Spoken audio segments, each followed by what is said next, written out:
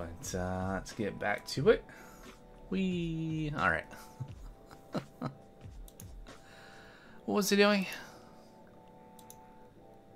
Any reason for using a Trello board over just GitHub issues, maybe GitHub project? Uh, I'm not using a Trello board. I'll have you know. It is it is a GitHub project.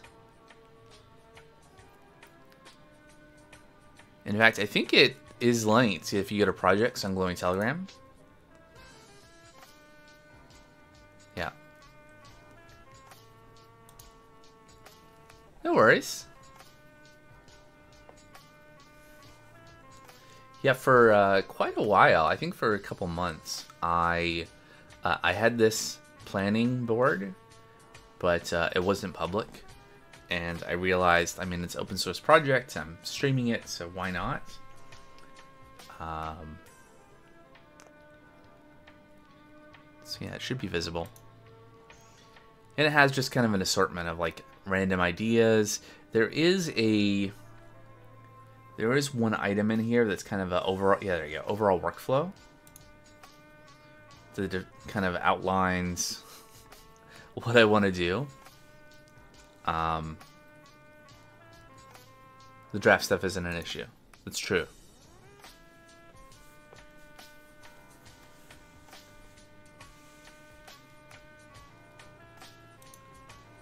Ah, yeah, I I will uh, open issues for anything that I'm going to on as a PR, just to be able to link the item from the board to a pull request. And I have no labels or any kind of organization uh, because I'm not really using this for like issue tracking so much. Although there are bugs and occasionally things that I want to fix, but um, yeah, it's more of just like what am I working on? Uh, just open issues for everything. Yeah.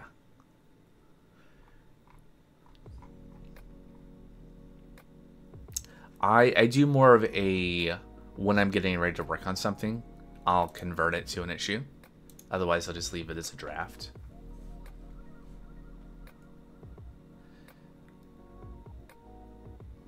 Yeah, so each of those drafts will be an issue, sure. I mean, I, I wonder if you could make it so that every time you opened an issue on the board, it just automatically created an issue. Um, oops.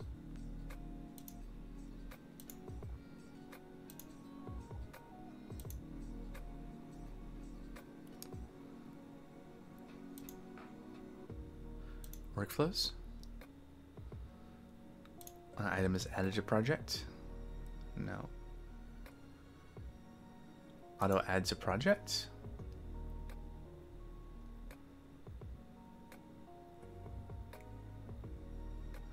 No. Generally do the other way around. Create issue and link it to the project in the sidebar when creating. Ah, sure, sure. Yeah, I, I spend a lot of um, like I work out of here. like as you can see, I just like every time I have an idea, something to do, I just dump it into to do. Um, and then go from here out. I guess yeah, you could just create an issue, and then oh, you can see my other projects. Those ones are not public. All right. Yeah, I don't know. It's it's it's it's less of a oh I've come up with a system, uh, and more of a I just was like I'm gonna use pro- GitHub projects to do this, and this is just kind of the way I did it. Uh, yeah, I don't know. All right, uh, moving on. Moving on. So the next one is Stream Ingestion API. We have another two endpoints.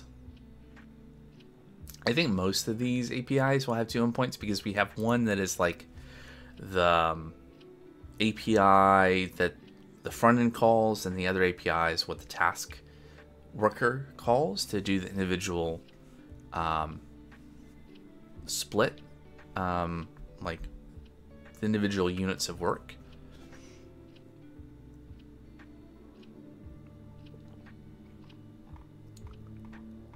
Uh, what's an FFM probe? Ah, so I think this is my wrapper.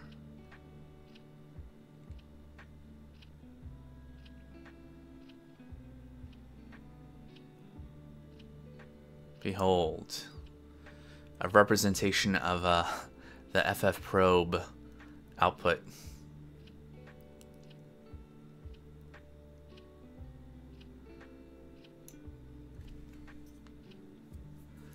Oh no, no, no worries.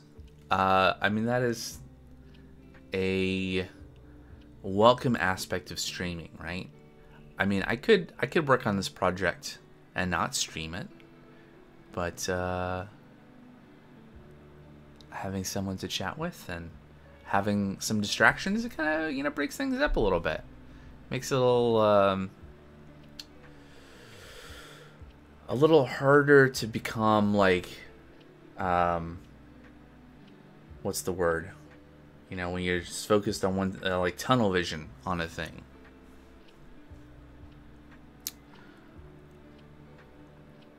So I think I'm going to take this file.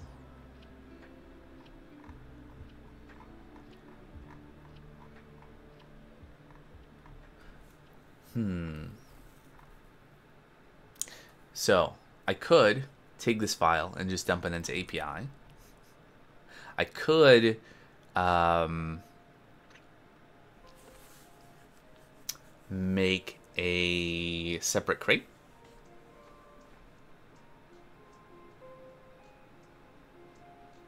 Hmm. Hmm.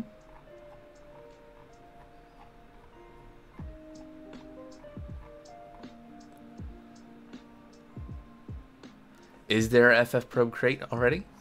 But does it do what this does?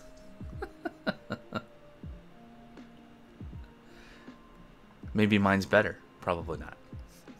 Mine just calls FF Probe, and then uh, it outputs JSON, and I parse it.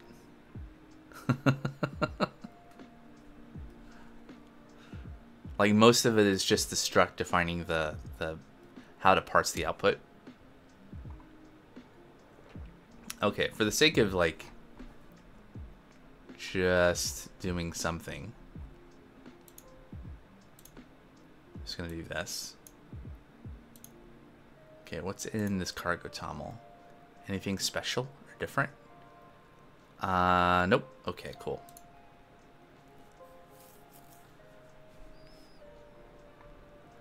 All right, and then we have you must poke start before you can poke catch. You did it. You got a Squirtle too.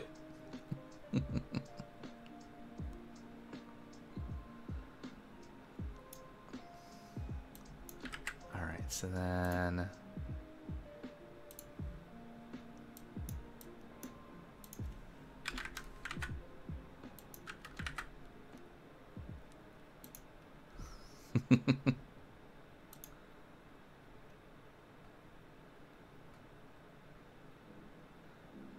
All right, do we have both of these things in our existing app state? One of them, I think.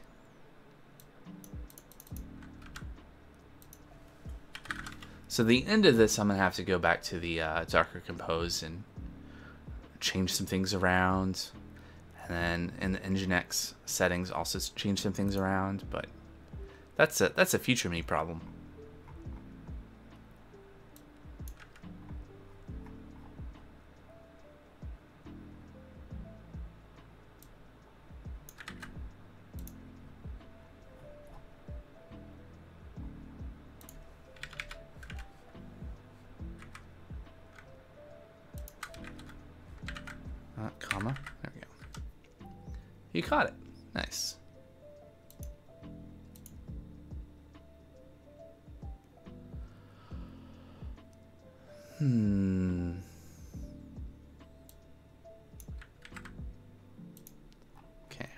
Wise.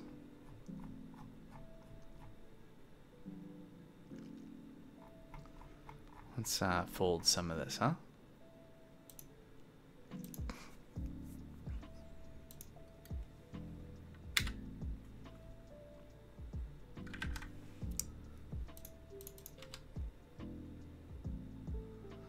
So API find files. Um, there's a little bit more to this. Like if I look at the Nginx file. Oops. Typo.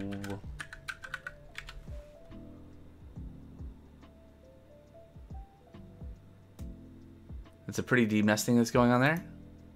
Nah. What, here? Yeah, I could probably do without the first one if I just put slash API in front of everything or just not have slash API and and uh, have Nginx do that.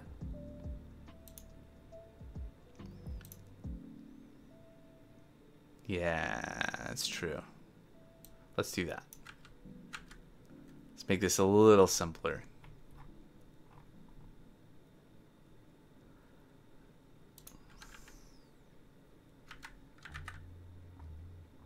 All right, and then...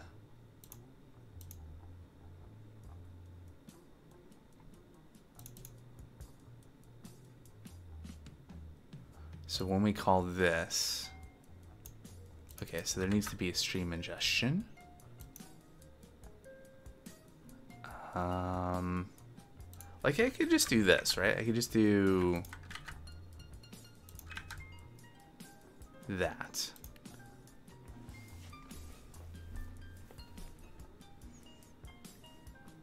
Versus, you know, having a nested router.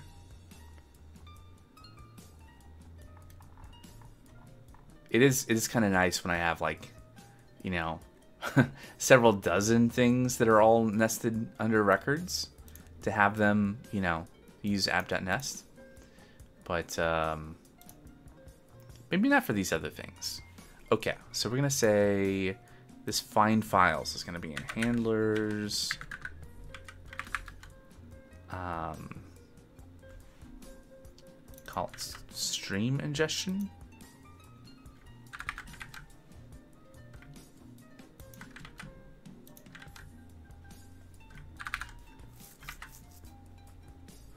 Of course, that doesn't exist yet, but it will. It will.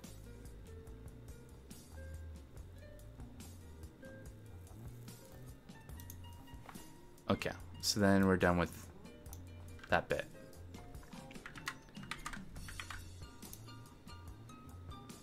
Okay, handlers, new folder, stream ingestion.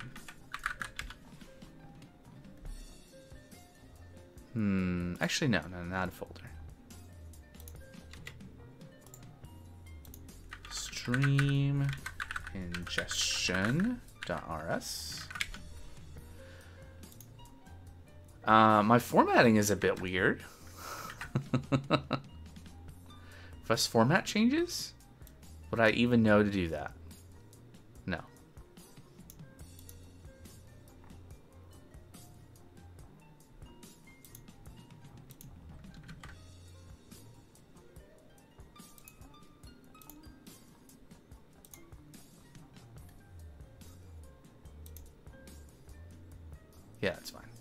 Well, whatever. sure. Uh, let's see. So this doesn't need to be public. Why would that be public? This needs to be public. And this too.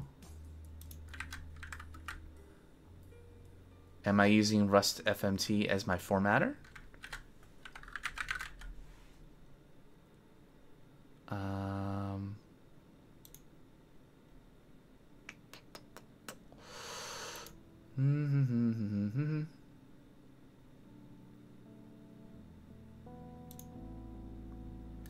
No idea.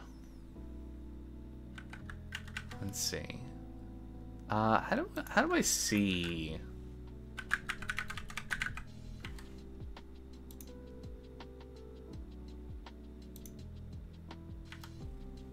Nope, not in there.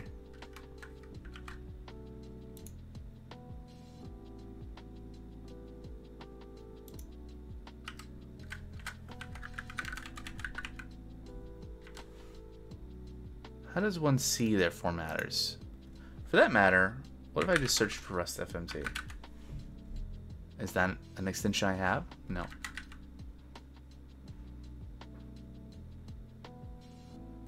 Hmm. What extensions do I have? Also, I need to update things.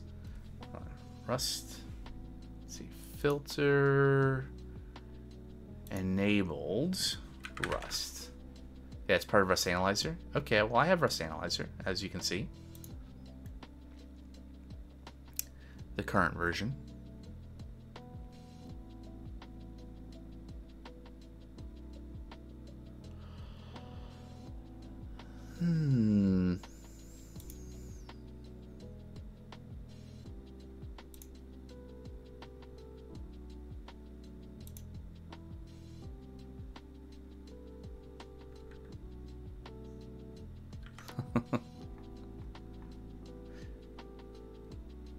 Like I know if you um like if you were opening a if you have a file and you don't have a, a configured uh, formatter or if there are multiple and VS Code isn't configured for one, then it you know it does things.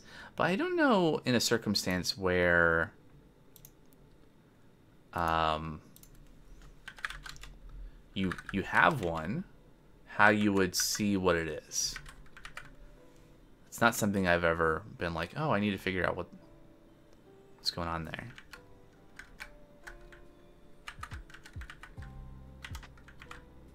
Okay. What are we complaining about? App state? Yep, there we go. And let's use the one from our crate. Usually put Rust, editor default formatter, Rustling. Yeah, interesting. You think that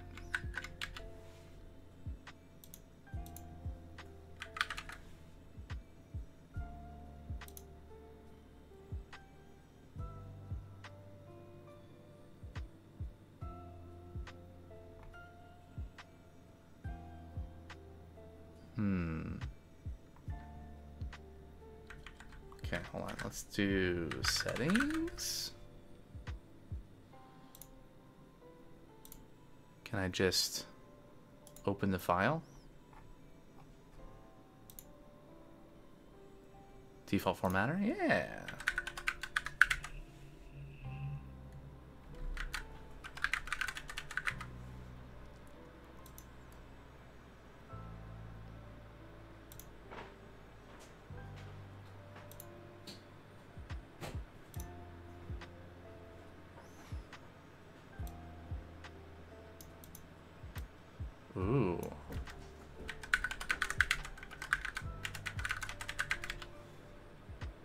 Modified elsewhere.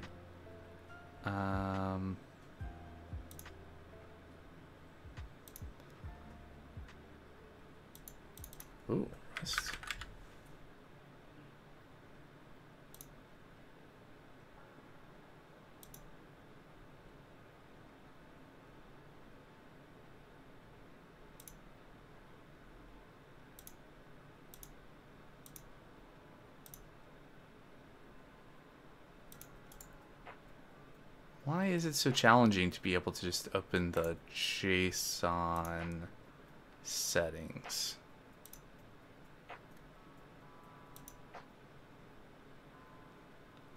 Ah, there it is.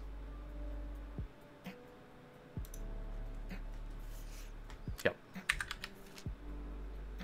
So what did you have? You had in Square, Bright. Oh, look. All sorts of things. Rust. Uh,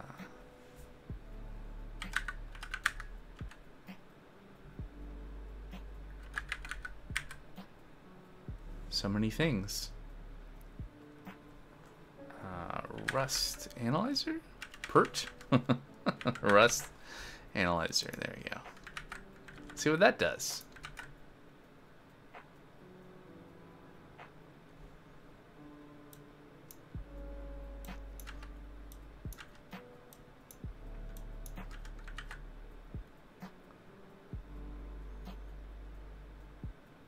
Nothing. Get some warnings because type find files query is more private.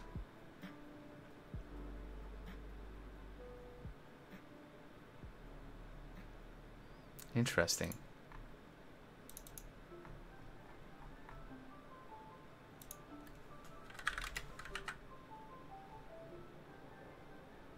Some of the brackets of the function calls were weird.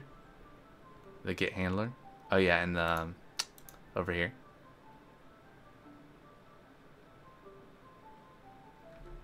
Is it because they have word wrapping turned on?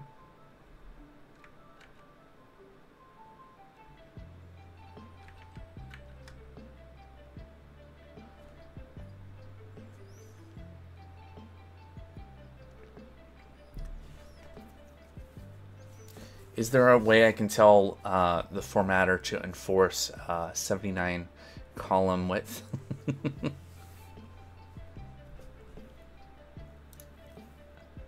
All right, so I can.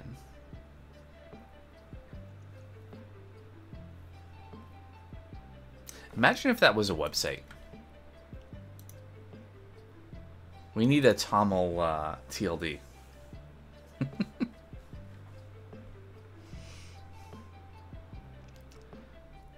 All right, so is that the stream ingestion API migrated then? We copied all that. All right, delete. Rust FMT toml in the root set max width 72. Let's let's see what that looks like. Um, generally, I'd want something a bit wider than that. Not too much wider. Uh, my thinking there is just that I do have a lot of real estate. Um, but I also want to be able to like look at code side by side. But when I'm streaming, I have things zoomed in much more than I otherwise would, so that text is actually legible on the stream. Um, yeah, 100. Uh, 79, please. What does that do? All right, so what does this look like? Uh, actually, let's go to main. I feel like something changed there.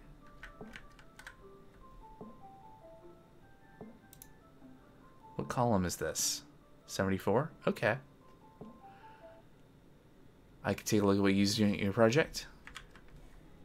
Uh, I think I still have that. There we go. You talking about this one?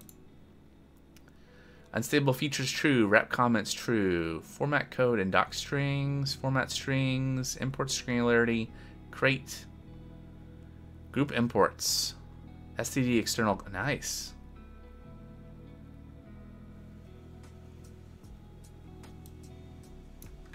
I'll uh, I'll I'll yoink that. Look at that.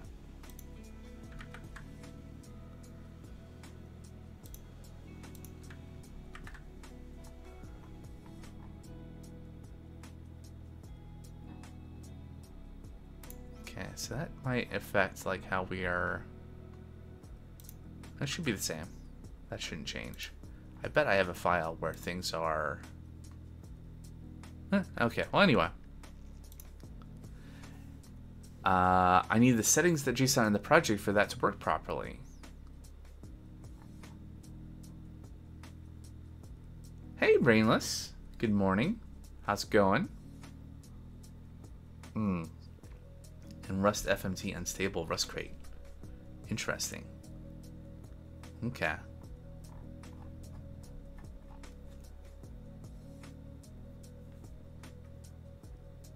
Ah. Okay. Well, I think something to look at later. Let's uh let's keep marching on in our consolidation. Doing all right? Waking up? How am I?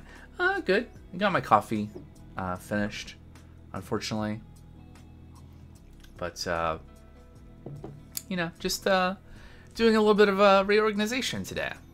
So just consolidating all of these different API services into one one thing. Uh, well, we're not changing task worker. So one, two, three, four. Four to go. So I think we're like halfway done.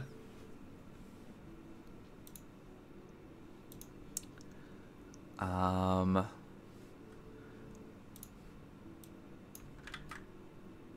see, so I, I'm pretty sure we have to add these. And then I think, oh, and then feature WS. Uh, about double that many. I mean, we can just look in GitHub.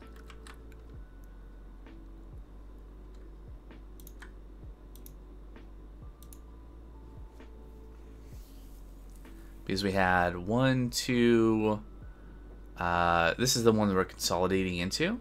So we've done one, two, um, this is actually empty, it doesn't count.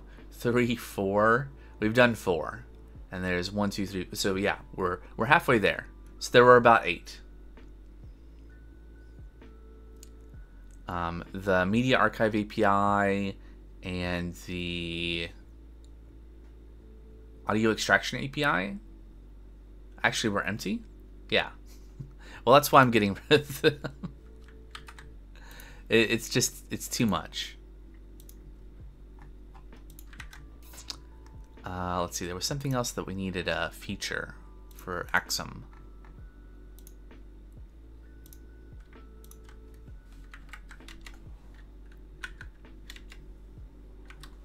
Yeah, that one. Uh, we already had a regex tracing chrono, ISO 8601, Serde. So I think that's all good.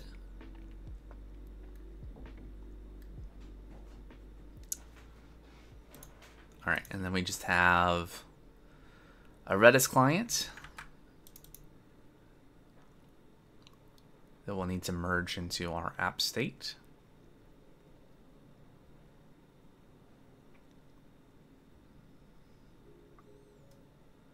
Let's imagine I could find where that was. There we go.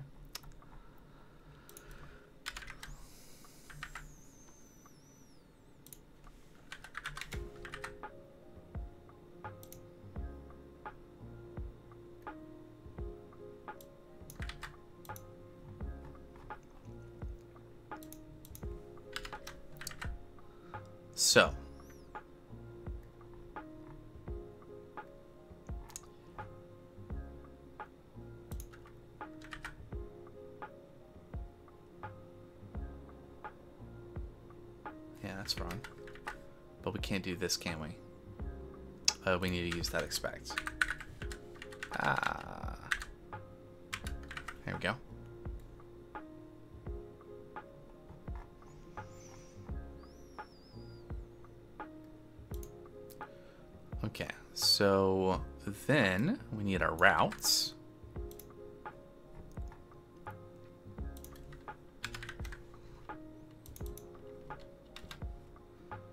So we have tasks, and tasks colon record ID, tasks WS, uh, and we're going to change this to be something like this.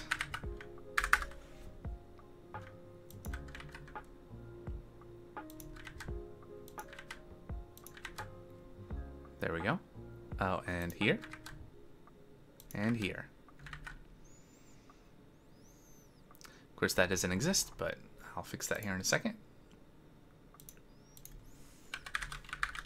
Tasks.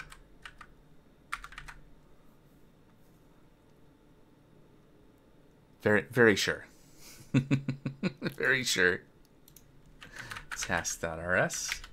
Hey, Furiago. Uh, okay, so that's all the stuff from there. So I'm going to get rid of that. And copy the rest. And then I just throw away that file, paste that in there. Let's see what's broken. Okay, we don't need routing kits in this file. Do need import that. This needs to be pub.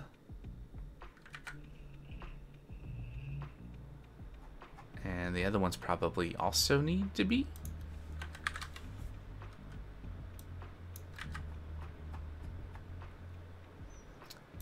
Remember to use the outline.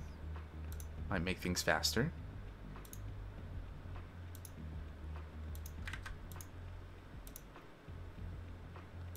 Oh yeah, to do. Actually implement this. Uh, yeah, that's not implemented. No, there's that. Maybe I'll do that at some point when that's needed.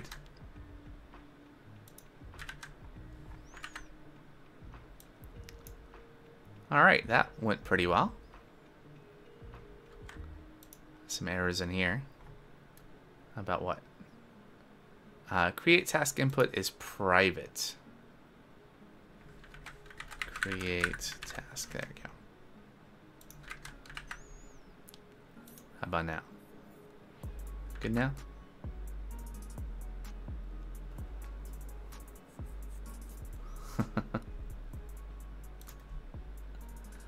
okay, so...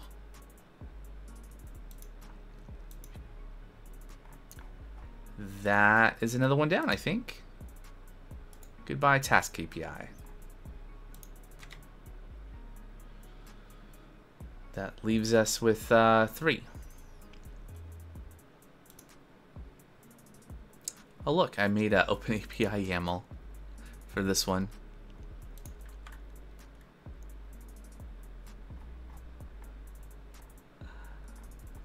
Hmm.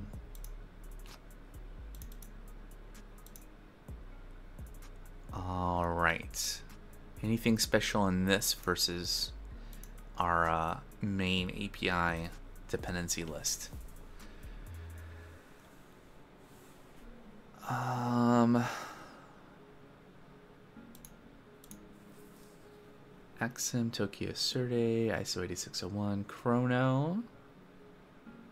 Hey, but this Chrono has the Serde feature.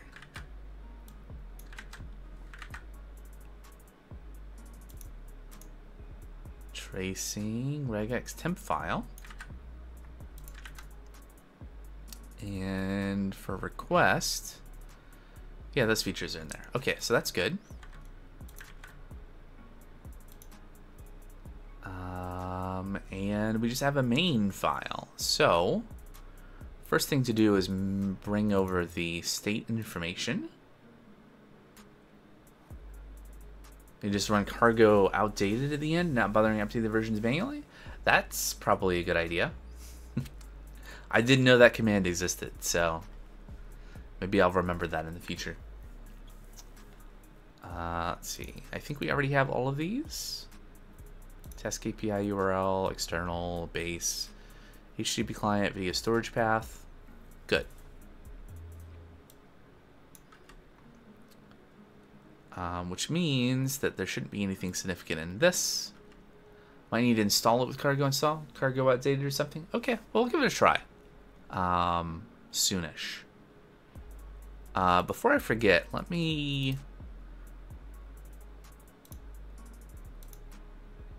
get on a branch. This is this is issue number 100, merge services. There we go.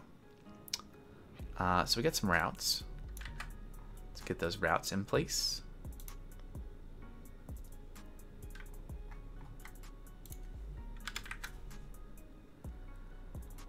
Um, yeah, and this is going to be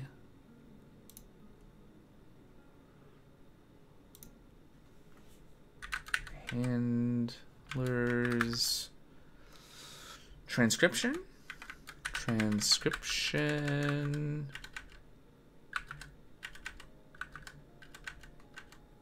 C R I P T I O N.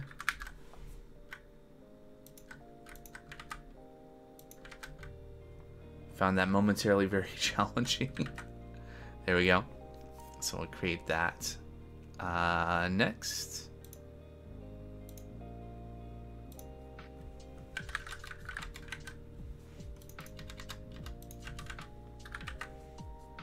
Okay.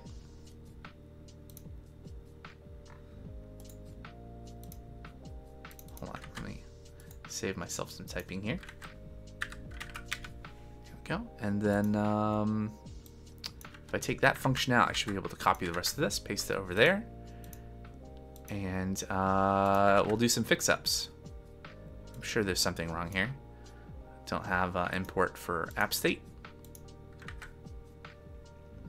in my experience, a microservice architecture is almost never the right architecture to get started on a new project unless you are like Amazon or Google or something. Probably not for all projects. I think that's fair. I think that's fair. Mainly, I was really interested in how it would work. Like the point of doing it was not that I thought it really made sense for the project to do it. I wanted to know what it might look like and just to try it rather than anything else. Um, which I think is something I, have said multiple times through the project that like this is only going to really make sense if you have multiple teams that are working on different like a much larger scale than a single person working on a thing. Um, the other consideration is like um, there's still going to be multiple services because we're going to have a task worker, so that's going to be a separate thing that's going to run and uh, I ha- it's in a separate uh, pull request that I've not merged because I don't know if I'm actually going to end up doing it this way. But like I have a Twitch bot that's implemented with Elixir. Um, that would be, you know, if you have multiple languages, you're going to have that as well.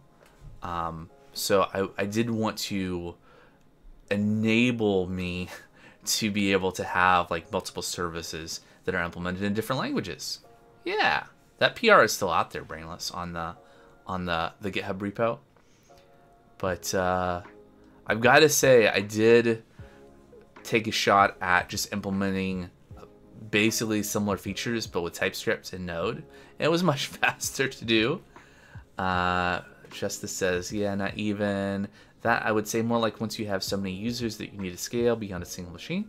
I mean, yes and no. I mean, even with this, at, with a single service, you can just as long as your your backend is stateless, it's not managing state within the, the API layer, you can horizontally scale that. It's just going to depend on what's backing it, right? What kind of data store you're using, what kind of database, and access patterns, and a lot of other considerations. Yeah, reliability requirements or something. Sure, that too. But again, that that's I I don't think that's even necessarily like the difference between having one runtime that has all the API endpoints versus multiple would really be if like some of these APIs yeah, performance wise, why would it matter? like if you had something where you had certain API endpoints that needed certain kind of hardware, like some of these APIs um, use GPU to do things, right? And so by having those endpoints as a separate service, you can deploy that on the hardware uh, where you that you need to support that and you can scale those things up if you're if we're again talking about a situation where you have the service deployed on multiple like VMs, hosts, whatever, um, and you're like load balancing across them, those sorts of things. That's not most projects. Uh, yeah, that's fair. I've I've worked on some of those kinds kinds of projects. Um, at at varying scales. Uh, but this application is just running on my machine in Docker um, and is so very far from being a product um, and not even something that I've really entertained the idea of like a SaaS application, which is really where you're talking about uh, where that sort of thing matters, where you have um, you want to kind of centrally host one thing for many users. Okay. You caught it. You've been having good luck today. Alright, what are we what are we missing here? Oh yeah, that's not a thing anymore. Uh one crate.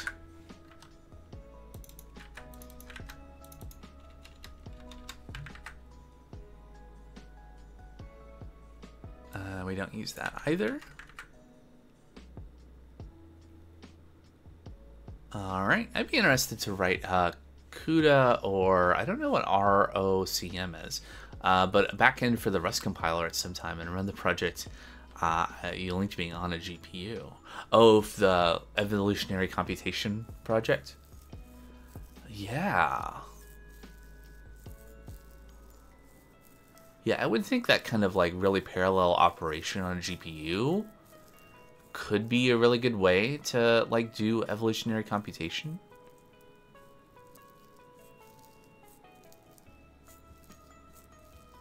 That seems like that could be a good fit.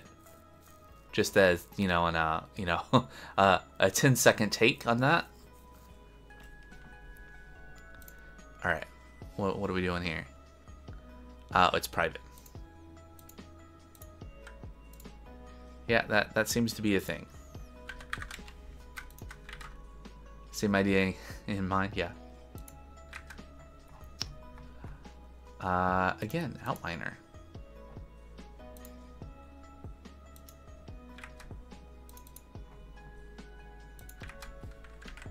Oops. I remember when I wrote my thesis using GAs, I was just starting coding and did it in Python. So slow. Yeah, yeah. Uh,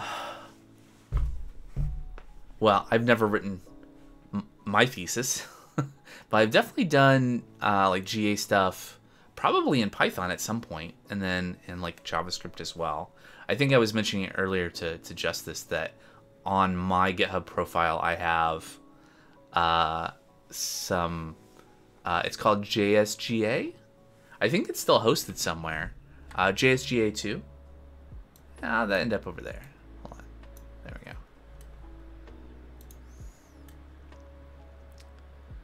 we go. Uh, so many repositories. So little time.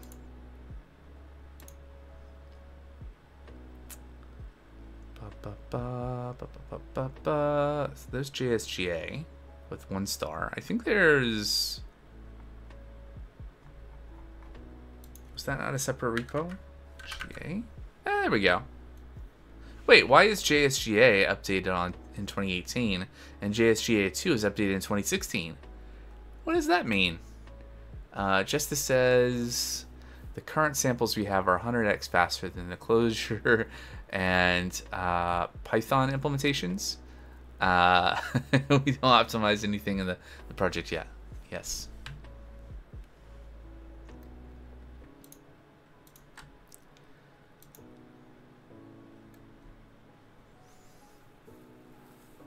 eight years ago. It's a rewrite. So, and it's hosted here. Is it still there? Oh, look. It's a Bootstrap UI. it's just an in-browser GA thing, right? You give a fitness function, and you can give a selection mechanism, and you can you can populate Behold.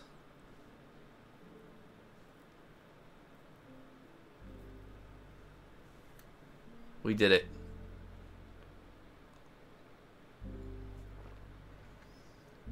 It's nothing really fancy. It's just kind of uh, more of a uh, UI demo. Yeah, yeah. I mean, it's just it's just a uh, it's just JavaScript. It's it's a browser like it is just running in your browser, right? So this is just a, a CNAME pointed in an S3 bucket. So it's gonna be there until Amazon goes away, probably, or until I stop paying for the domain.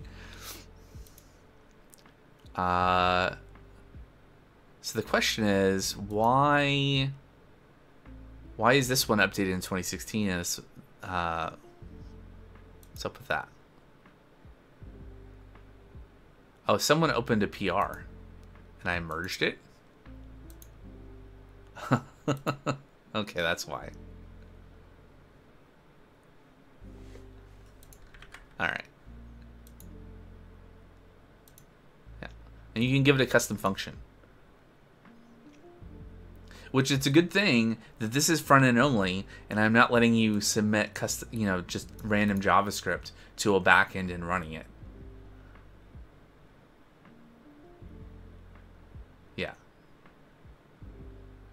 Well, here you go. Here's a here's a UI for a playground. JSGA two. I think the original JSGA. I don't know if it still exists. Um, it does.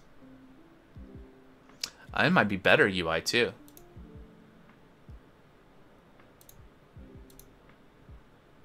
Eh, so so. I think there might be more options.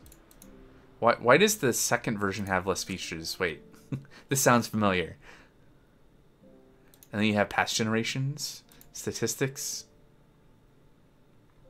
Uh, Rust compiler almost works compiled to Wasm and make it fully work. All right, so you could you could write your fitness function in the browser in Rust and compile it to Wasm and run in line. Is what you're telling me? Almost. All right. Yeah. So those are public projects. Uh, oh yeah. So JSGA is written in CoffeeScript from 12 years ago. Remember CoffeeScript? In a folder called JavaScripts. Behold. uh, because back in 2012, like for work, like our front end stuff was all this is a past employer, not my current one, which I'm not going to talk about my current one. Uh, but past ones, um, we were doing. Oh, it's Backbone too. It's CoffeeScript and Backbone. Um, I think we we moved away from Backbone after 2012 uh, to Angular, if I remember right, Angular JS. Rather use ClojureScript. Yeah, that's fair. Me too. I mean, CoffeeScript is dead, but um, I really like static typing is the thing, and I feel like that's not um. There was um core typed. I don't know. It just doesn't feel that there's there's definitely more developer experience goodness on the TypeScript thing. You can use Dart. Have I even looked at Dart? I might have once, long ago. Ooh, fancy.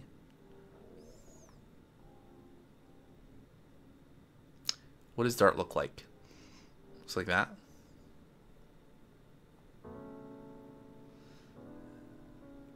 I was thinking something more lispy. If we're talking about ClojureScript. All right, back to it. At least for a couple minutes. Yeah, Dart's another language. Yep. I knew that. All right. So, uh, was this the one I just did? Yeah. All right. Transcription API goes away. And compiles to JS. And statically typed. Sure, sure. But why not just TypeScript then?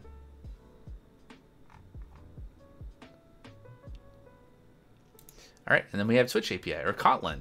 Does Kot does Kotlin compile the JS? I've used Kotlin for some. Um, it was Kotlin, right?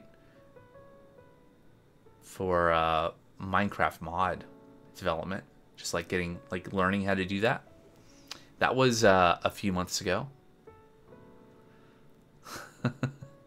was that was that before I started working on this project? It might have been like December. Yeah. Okay. Well, anyway. Um, Twitch API. What's in here? XM.env, Tokio, Serde, ISO 8601, tracing regex redis. Do we have all the same? Why does the Twitch API need... Oh, right, we store the tokens in there. Okay.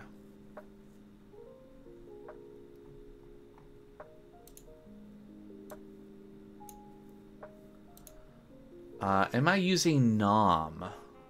Or why am I using ISO 8601? Well, I don't know what NOM is. One. And two, uh, for, I think it's for parsing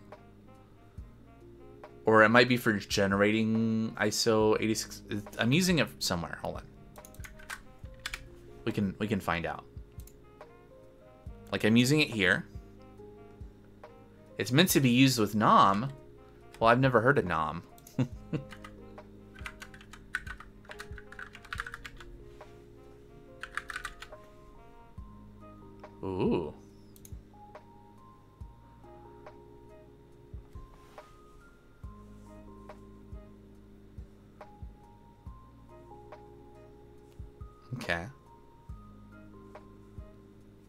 Basically, I just needed something to, uh... yeah. Much nom. Something to handle, uh... If you use Serde Chrono... Yeah, exactly. It supports RFC, uh, RFC 3339. What is the difference between RFC, RFC 3339 and ISO 8601?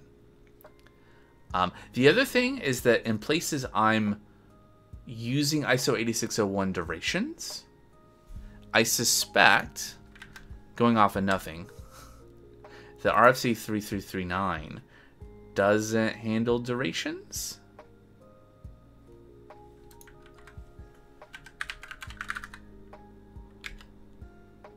Oh, maybe it does. Maybe it does. At least it references it in the uh, uh, the BNF.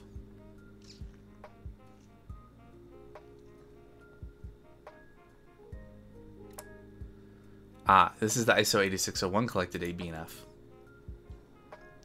from the 1988 version. But is that part of RFC 3339? I, I want to say no, just because the only instance of the word duration in the body of this is when it's talking about how long a second is. I'd have to read this this whole thing. The question is, um, could the chrono create Serde support uh, parsing a duration. You know, we're talking about like um, like one one hour would be this, right? P1H. And an hour and 30 minutes is this. An hour, 30 minutes, and 5 seconds is this. Uh, and 5.01 seconds is this. Yeah. Okay. So yeah, I don't know. But uh, it was I just looked for a crate for ISO 8601 and I found it. Um, there might be something better. I don't know. All right, Redis features. Same features. Reqwest features. Same ones. Redact. This is not alphabetical, is it?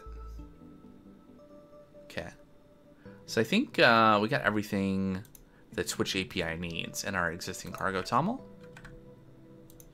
So...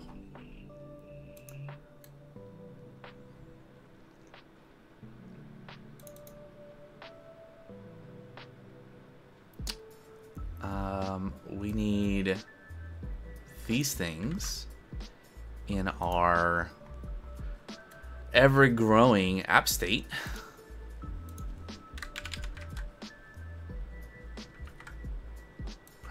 Need to be public.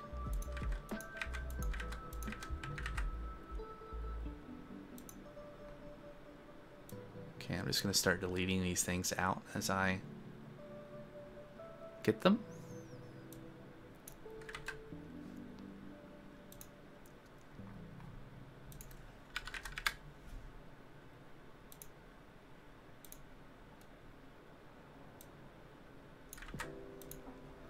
Some of that is going to be redundant, and I'll have to clean that up, but uh, let's get that pasted in, and then we'll get rid of... Oh. Um, I like an HTTP client that has a user agent better, so I'm gonna I'm gonna use that one. Okay. And then we just need the routes.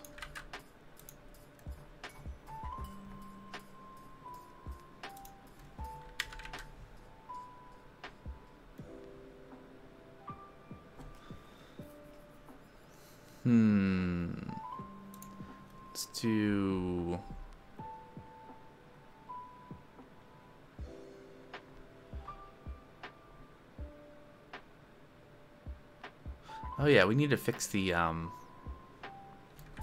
Nginx. There we go. Should have like silence detection in those routes, like this. I mean, assuming you know, I, I think I said up front that I wanted to keep the the um. Oh wait, not not silence detection. That's wrong. Transcription. I wanted to keep the same kind of route structure so I don't have to change other things. So this is API Twitch. Oops. Okay, and then we do handlers, Twitch.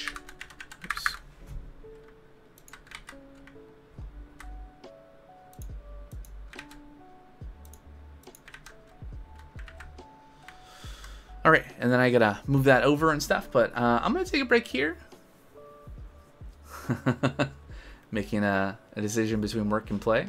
I'm gonna be playing some uh, some X4 myself after lunch, but I'll be back in just a couple minutes. Uh, Twitch wants to run an ad, uh, so Twitch gets what it wants. So I'll be back in just a few.